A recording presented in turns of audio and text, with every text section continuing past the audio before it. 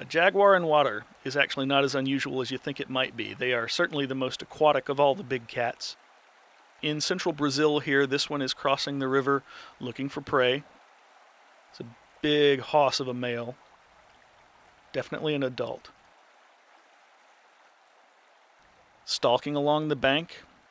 Now, jaguar diet consists of upwards of 85 species, more than 85 species of different animal. They can take virtually any riparian vertebrate found in their habitat. So anything along the rivers and in the rivers, it's a potential prey item. It's on the menu.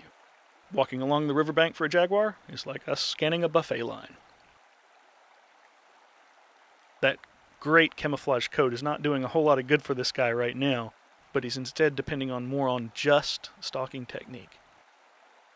He's doing an excellent job stalking. You're not seeing any splashing, even though he's partially in water and probably can't see the bottom, making sure the footing is good. He's on the on the bank here further on now.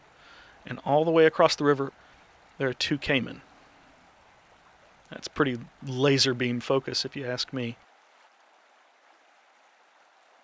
Now, I thought from the left here this was the other caiman that we saw in the water because there were two in the water before. But no, there's one caiman on the bank, and that's the jaguar.